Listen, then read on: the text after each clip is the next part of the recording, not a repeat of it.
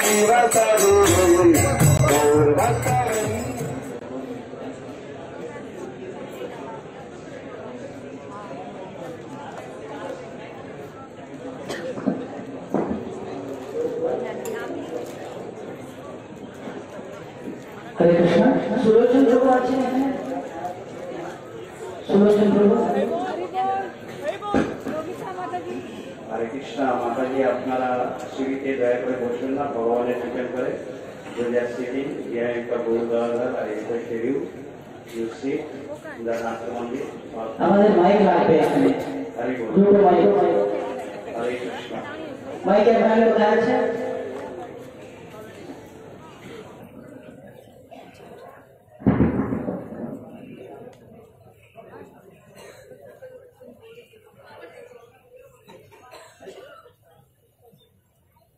Yeah, we're, we're just uh, hearing that some buses are delayed because heavy traffic on the road and some traffic jams, and some of the devotees haven't reached yet. Anyway, uh, that's one of the austerities you get when you go back. When you go back to the temple every night. You come, and you have the traffic jams in the morning, they got stuck. Anyway, they're, they're on the way. And we'll be here. We're going to have breakfast here. So we'll be here for some time. And uh, we have already His Holiness Sri Goswami Maharaj. Maharaj is from South Africa. And he's been on Parikram several times. He's completed courses in Mayapur, stayed in Mayapur for some time. He's doing very important preaching work there in Africa. And His Holiness Prabodhananda Maharaj is here this morning. As well as Dhiraganda Swami Maharaj. And we have proper disciples like Jurakarma Prabhu and Srivandananda Prabhu. So we'll try to keep you absorbed in Shravanam and Kirtan. So this is the Gorgadhar temple. Sorry. We're in Champahati. Champahati, from the champaka flowers. There were ma- used to there used to be many many champaka flowers here, and devotees would come and collect the champaka flowers. So it became Champahati, marketplace for getting flowers, the champaka flowers.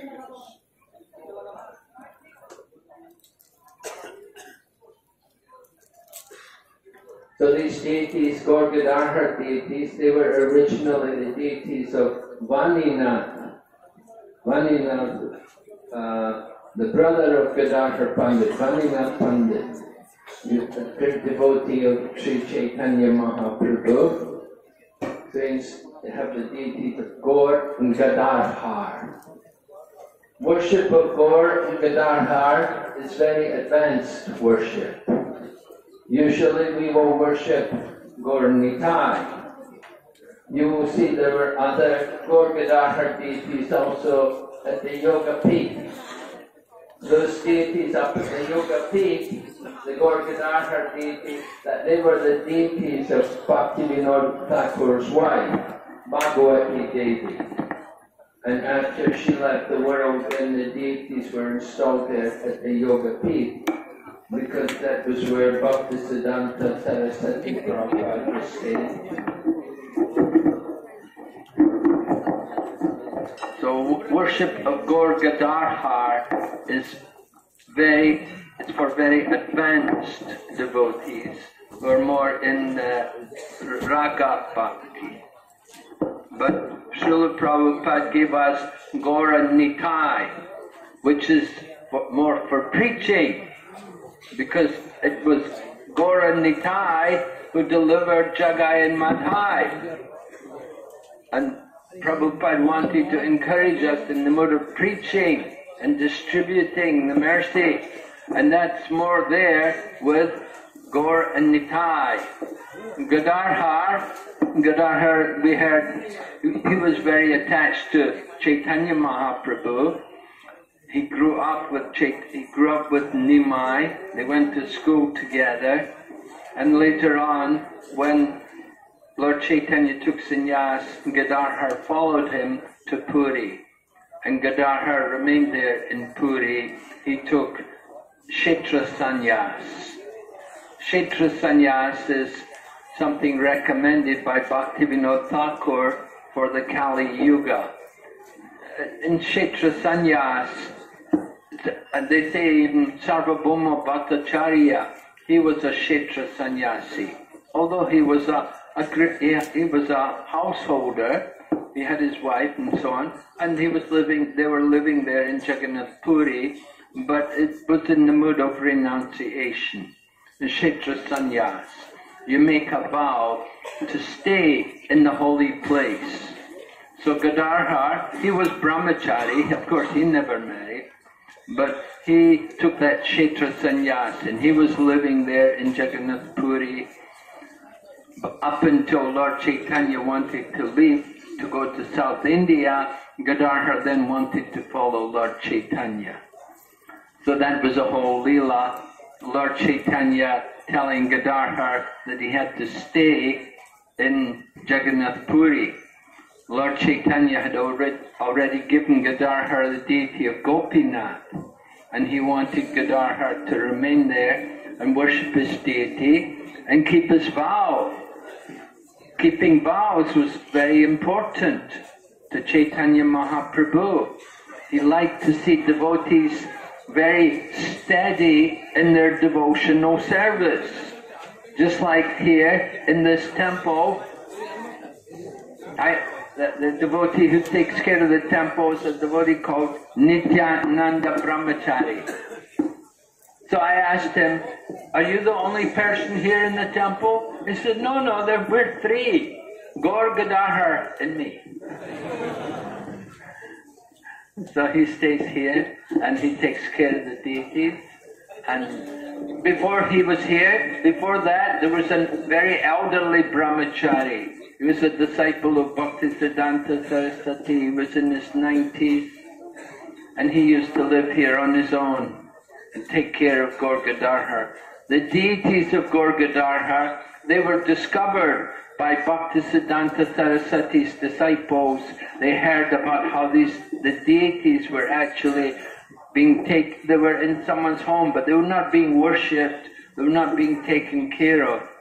So, but Bhaktisiddhanta Saraswati and the devotees went there and they talked to the people and they persuaded the people to give the deities and they arranged a nice temple for the worship of Gaur Gadadhar that they could re-establish the worship.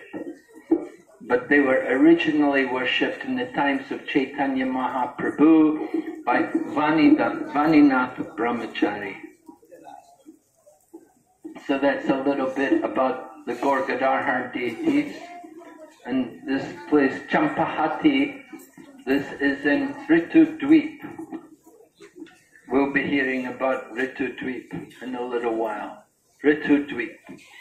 You can see it's very attractive, very beautiful, many trees and flowers growing here. So all the seasons are here in this place. So we, we always have a nice program coming here. Uh, and, and said also Jayadev Goswami also used to live here before he went to Jagannath Puri. So this was originally the residence of Jayadeva Goswami. So we'll, we'll be hearing about Jayadev Goswami and his pastimes here. So, uh,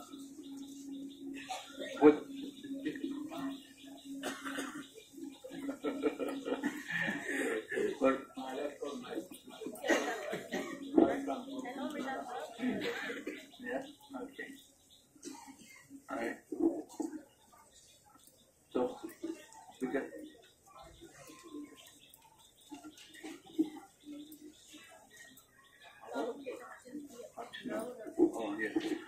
So this is Ritu Dweep, and the process in Ritu Dweep is Archanam. So we're going to hear about Archanam from His Holiness Prabodhananda Maharaj.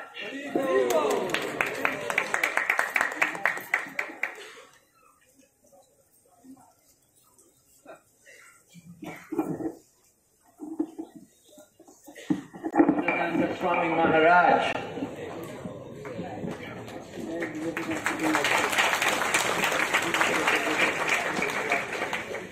Yes, uh, can we have the devotees who are sitting over there? Can you move over here and join with us?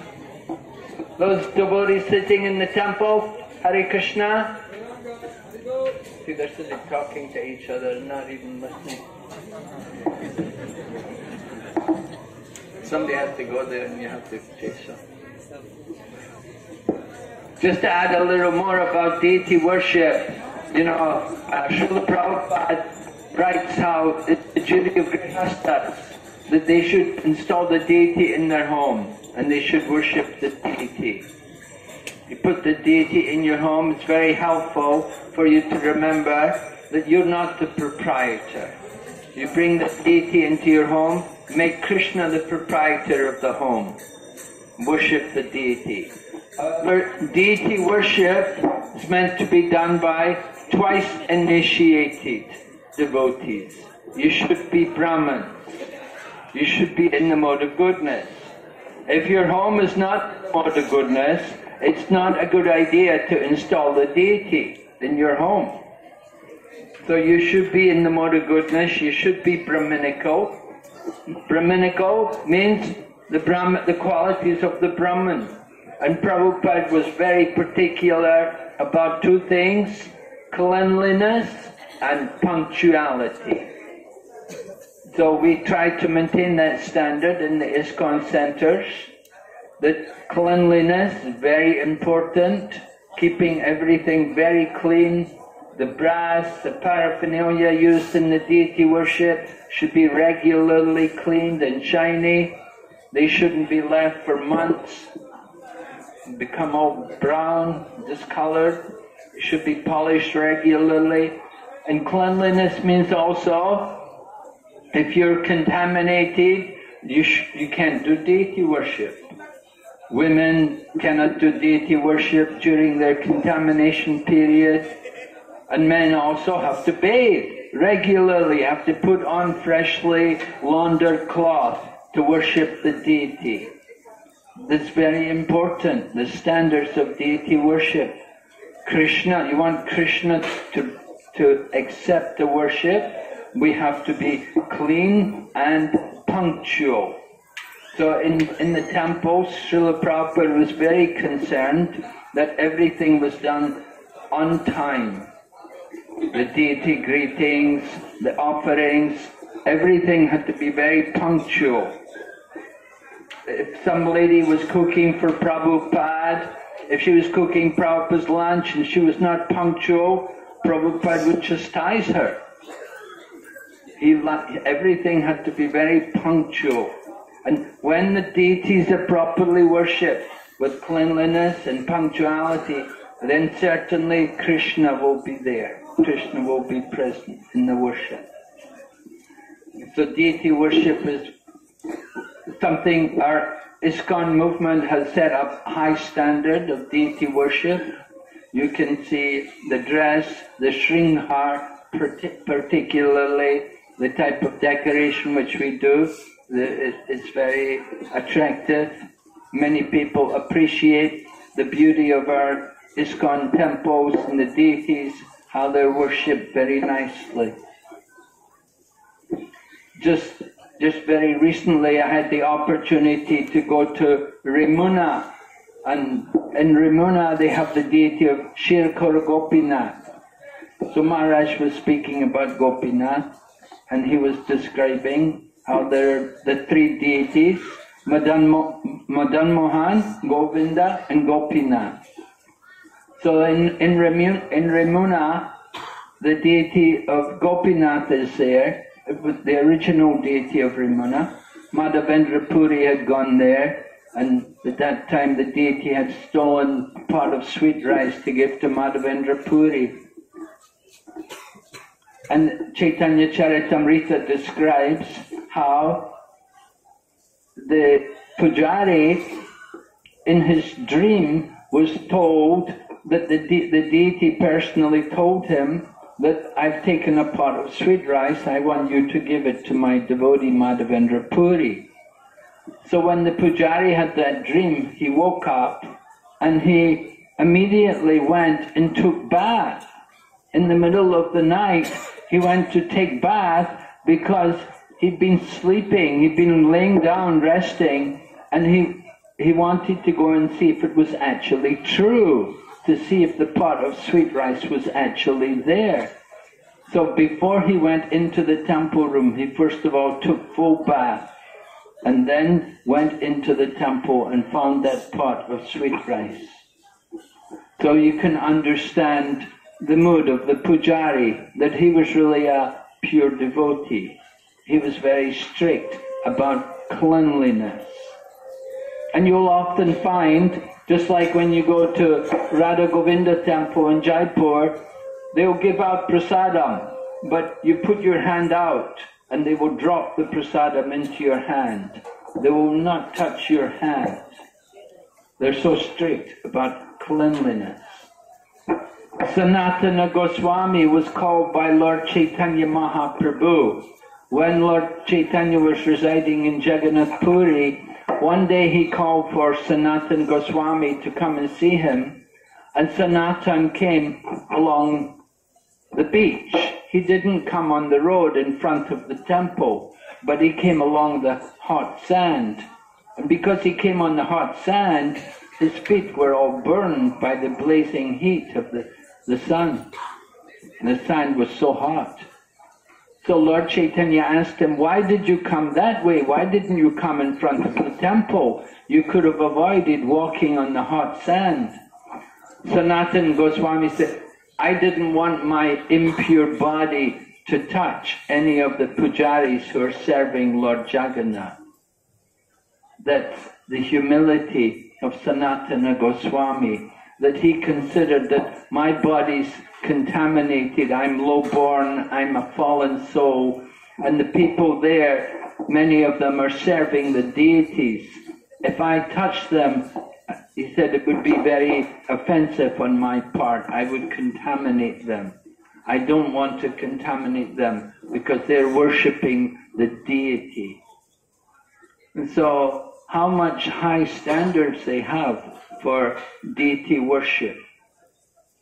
Jayapataka Swami told us how sometimes devotees come and ask about installing deities, but they haven't got second initiation yet.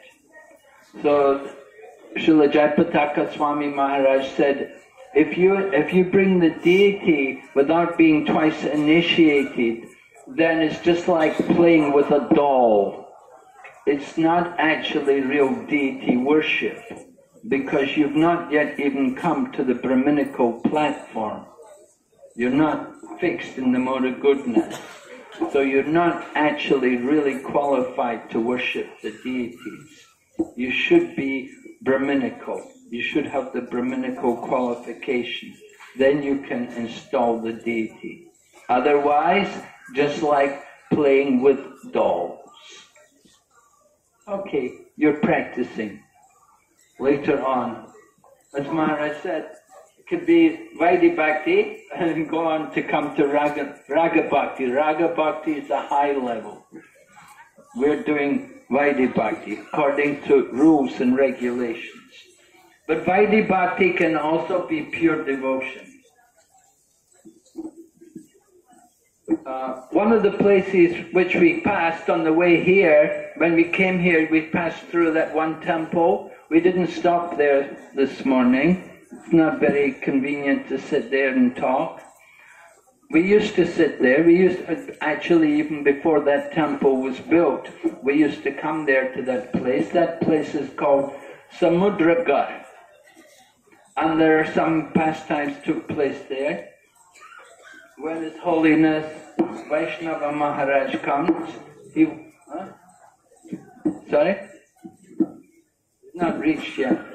Yeah, Vaishnava Maharaj comes. He's, he's going to talk about Samudragarh. Anyway, there's one pastime which takes place at Samudragarh, which I will speak about, and Maharaj can speak about Samudra Sen, and, and there'll be a drama on that pastime also. But Samudra Samudragarh, uh, it was a place where there's a conversation which took place between the Samudra, the ocean, and Ganga, Ganga Devi. So Samudra, the deity of the, personif- the personified deity of the ocean, spoke to Ganga Devi, saying to Mother Ganga, "You're so fortunate. Lord Chaitanya Mahaprabhu is there every day, bathing in your waters. You're enjoying that beautiful association. The Lord, in His most merciful form, as Mahaprabhu." He's bathing every day in your waters. But Mother Ganga spoke to Samudra and said, No, you're wrong. You think I'm fortunate? You don't don't you know? He's going to take sannyas. He's going to leave. He's going to go away from Navadvip. He's going to go and live at Jagannath Puri. And when he's at Jagannath Puri, He'll be bathing in your water. You're going to get the mercy. And of course, when Chaitanya Mahaprabhu was there in Puri, every day he would go and take bath three times a day in the sea. That is the regulation, actually. He said, Brahmacharis bathe once a day, Grihastas twice a day, sannyasis should bathe three times a day. And Mahaprabhu would do that very strictly. Every day he'd go to the sea three times a day, take his bath. So Samudra spoke to Ganga and said, Yes, he will come here, he will come and bathe in my waters, but actually he resides eternally in Navadvip. He's bathing in your water every day eternally because the Mahaprabhu resides eternally in Navadvip Dham. It's a place where he's always manifest. We, if you go to Panihati, Panihati is just not very far away from Calcutta, just on the uh, edge of Calcutta. Maybe you've all heard of Panihati, right? the Shiradahi festival. Raghunath had the Shiradahi festival from the order of Lord Nityananda. So Panihati is another place where Chaitanya Mahaprabhu is eternally manifest. But he's eternally here in Navadvip Dham. And he bathes every day in the Ganga. So this, this is the difference. There are holy places like tirthas and there are dhams. The dham is the place where the Lord resides eternally. A tirtha is a place where a pastime took place, some event happened, some saint went there. Even in Srimad Bhagavatam, it, it is stated by Maharaj Yudhisthira, um, Bhavad Vidir Bhagavatas Tirtha Bhuta Swayam Vibho Tirti Kurvanti Tirtani Swantastena Gadabrataha Maharaj Yudhisthira was glorifying Vidura. Vidura had gone to visit the holy places for many years and then he came back to Hastinapur to deliver Dhritarashtra. So Maharaj Yudhisthira glorified Vidura, the Tirtha Kurvanti Tirtani. It is the presence of the devotee which makes the holy place. By the presence of the devotee, it's a, it became a holy place. So because Vidura had come to visit them, they said, you've made this a holy place. So that's Tirtha. But Dham is different. Mayapur Dham, Navadvip Dham, Vrindavan Dham, the places where the Lord is residing eternally. The Lord is eternally present here. And Chaitanya Mahaprabhu, 500 years ago, in his manifest pastimes, he would also come here to Champahati and he would chant and dance and perform Sankirtan. So, who has not spoken yet? Dhira Damodar Maharaj, Bhakti Dhira Damodar Maharaj. So we'll hear from Bhakti Dhira Damodar Maharaj.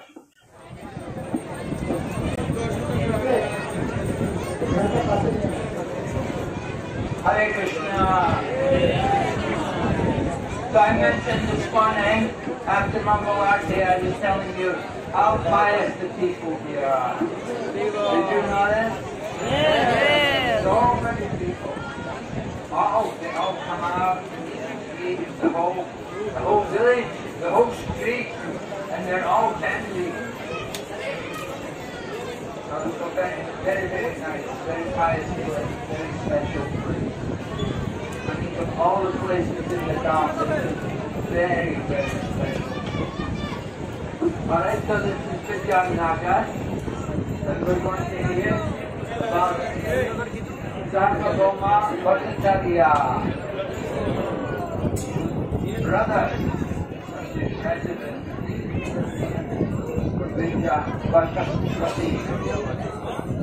So, we have all the seasons are here in this retreat. You can see coming here, so green, so many trees everywhere.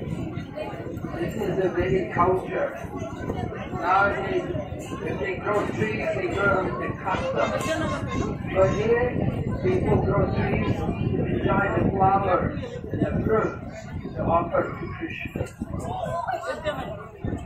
So, very special place is Yamnagar.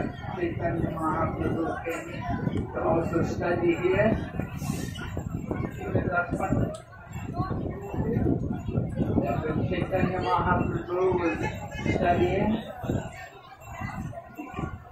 to this place. The special tree over there. There's only one tree like that. No other tree. Hare Krishna. Mahaprabhu.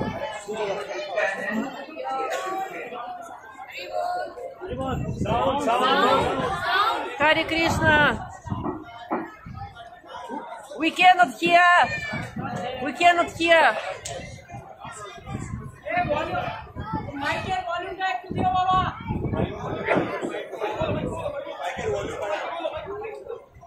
Hare Krishna, Hare Krishna. Are you hearing? Yeah, no, okay, yes. So we're saying this is where Chaitanya Mahaprabhu.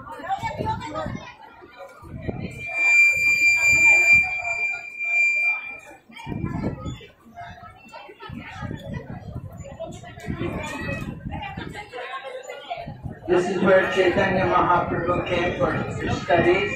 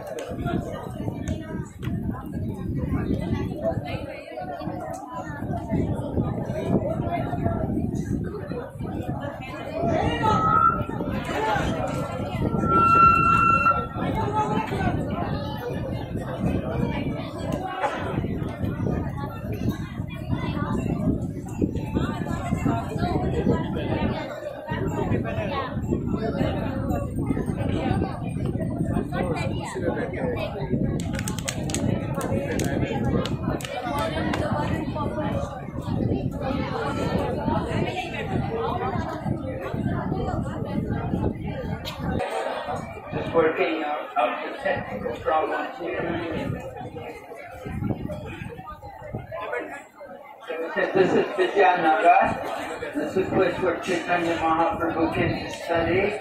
Gangadas Pandit school here. Chaitanya Mahaprabhu was here for some time. By the age of 11, Chaitanya Mahaprabhu opened his own school. That's, uh, that was enough. You learned everything very quickly. Didn't have to learn many times. You just had one time. Everything could be understood.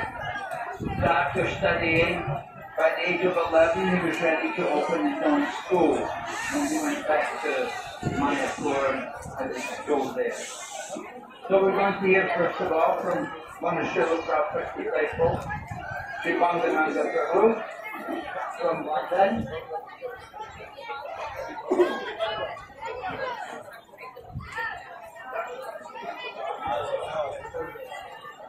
Hare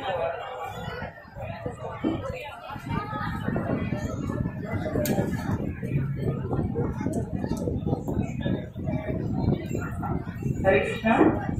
Those who are having darshan, one one person can go. Otherwise, it's a disturbance. Don't, don't do the darshan now. Later we can do. We sit wherever you are standing. Please be seated. After hearing, we can have darshan. And now we are going to stay for one hour. Don't worry. Hare Krishna. Devotees who are trying to take darshan of the Lord, please be seated there. Later we'll have darshan. आप लोग वहाँ पर बैठ जाइए अभी दर्शन नहीं लेंगे हम ये आवाज़ हो रहा है ना अभी महाराज जी बता रहे हैं कुछ पहले सुनेंगे उसके बाद में जाकर हम दर्शन करेंगे बिना सुन के दर्शन नहीं होता है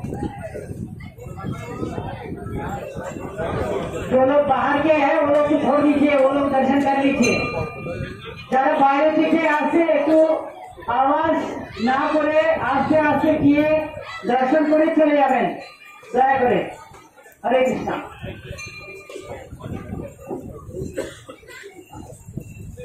Okay, so Bangananga Prabhu is going to preach about Yay. Hare Krishna. Maharaj.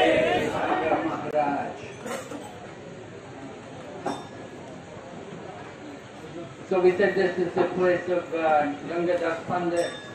Chaitanya Mahaprabhu studied here for some time.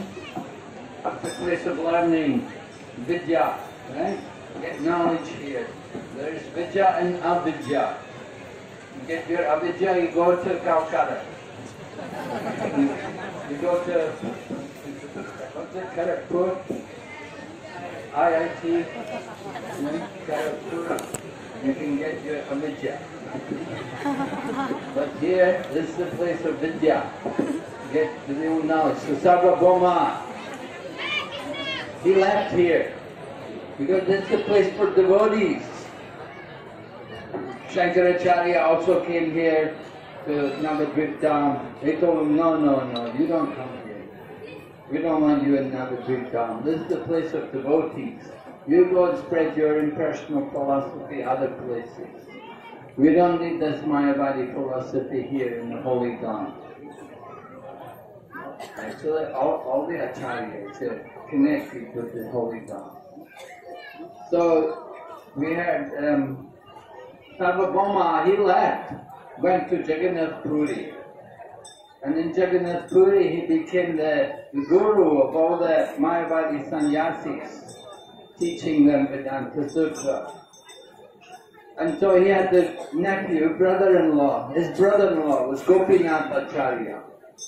And Gopinath Acharya, he understood the identity of Chaitanya Mahaprabhu. And he told Sarvabhauma Bhattacharya that this Chaitanya Mahaprabhu, he is the Supreme Lord. He's Bhagavan himself. He's come in the Kali Yuga.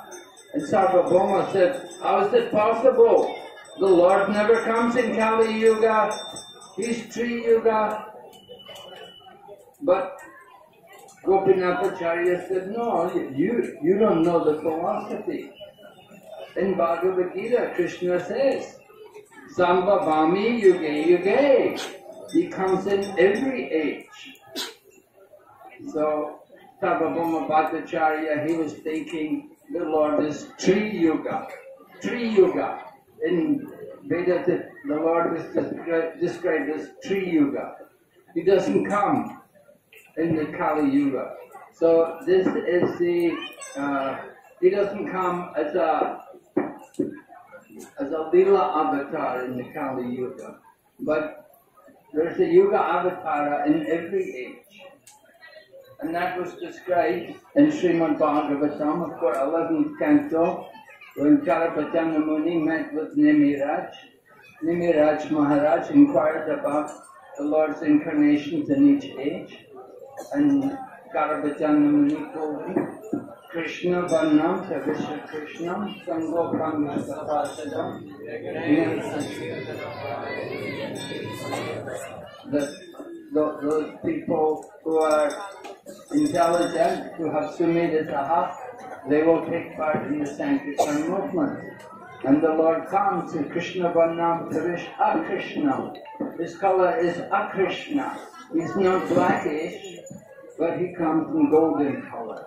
Because he's coming to experience that inner desire. His inner desire is to understand the love which Srimati Radharani has for Lord Krishna. So he has taken the color, the complexion of Srimati Radharani. So in this way, Chaitanya Mahaprabhu is described as being the Yuga Avatar.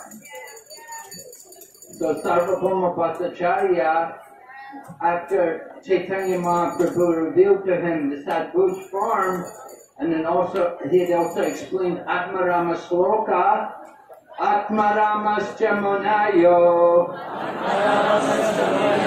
Nirgranta Apirukrami, Kurvanti Ahita Kim Bhaktim, Itambuta Hari. So this was very difficult verse for Mayavadis to explain. That how is it one who is Atmarama could be attracted to hear the glories of Krishna? Just as Sukadeva Goswami was Atmarama, but he was attracted to hear Srimad Bhagavatam.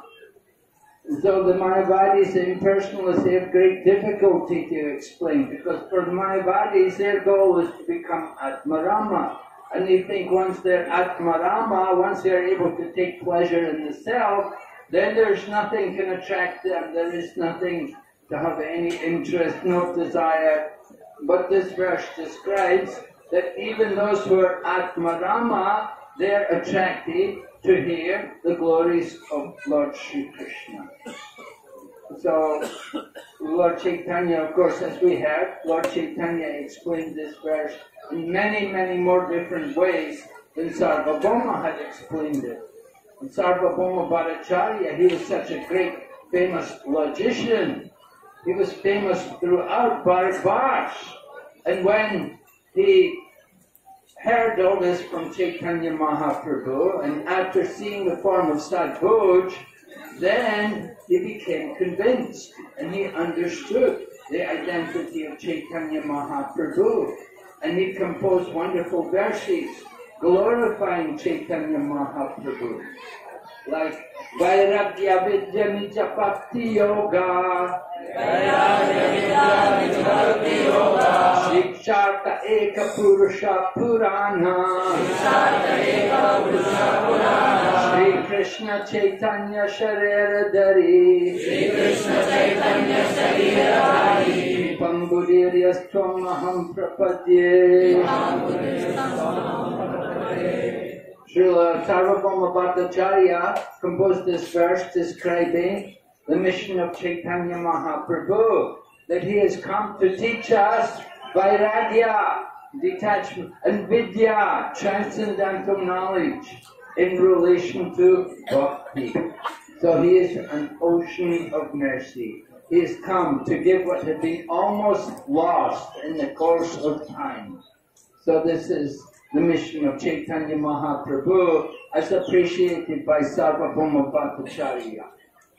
So uh, an interesting incident took place later on uh, with Sarvabhauma Bhattacharya becoming a devotee. You know, everyone was shocked because he was a smarta Brahmin and now he's become a Vaishnava. And that Vaishnavas are often considered to be sentimentalists and, you know, not very rational people, not like the smarta Brahmins. A lot of smarta Brahmins here in Vidyanagar also. But they're devotee Brahmins. Nice. Nice Brahmins. So there was uh, another time, Sarvabhauma Bhattacharya was asked, somehow they were, he, he quoted a verse from Srimad Bhagavatam. Tattenu kampam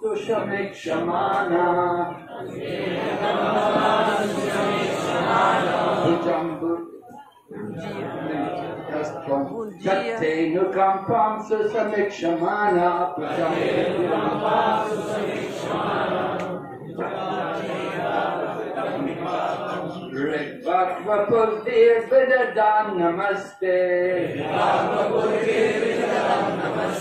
Diveta Yo Bhakti Pradepadayatam And Chaitanya Mahaprabhu said, what? That's not right. It's not Bhakti Pradepadayatam. Sarvabhauma Bhattacharya then said, no, I, I've made it Bhakti. the verse actually says, Mukti Pade Pradayatam. And Chaitanya Mahaprabhu said, yes, why are you changing the scriptures, Sarvabhauma? He said, well, you have to, he said, look, come on, mukti, that's what the Mayavadis, that's the impersonalist goal. They want liberation. Why we put that word mukti there? That is like hell for devotees. We don't want to encourage people in the path of mukti. We want to encourage them in the path of bhakti. But Chaitanya Mahaprabhu then explained to Sarvabhauma no, you have to understand that mukti also is in relation to Krishna. Ah. And Chaitanya Mahaprabhu explained that Lord Krishna is known as Mukunda, the giver of liberation. And the ninth canto of Srimad Bhagavatam is entitled Liberation, Mukti. The ninth canto is the prelude to the tenth canto. And the tenth canto is the summum bonum, the, all the glories of Lord Sri Krishna's pastimes. So he said, you can see, Mukti leads to Bhakti. So you have to, you cannot change the scriptures, Sarvabhauma. The- Sarvabhauma Bhattacharya had to surrender to Chaitanya Mahaprabhu. And Chaitanya Mahaprabhu told him, don't mess around with the scriptures. Everything in the scriptures, every word is perfect. You just have to understand it properly. So in this way, Sarvabhauma Bhattacharya became a wonderful devotee. He said, before I was tasting the bitter fruit of Mayavadi philosophy, but now I am relishing the nectar of Krishna Bhakti in the association of all the swan-like devotees. So this was Sarvabhauma Bhattacharya's appreciation of Chaitanya Mahaprabhu and the Krishna consciousness movement. So are we going to have a very short drama here?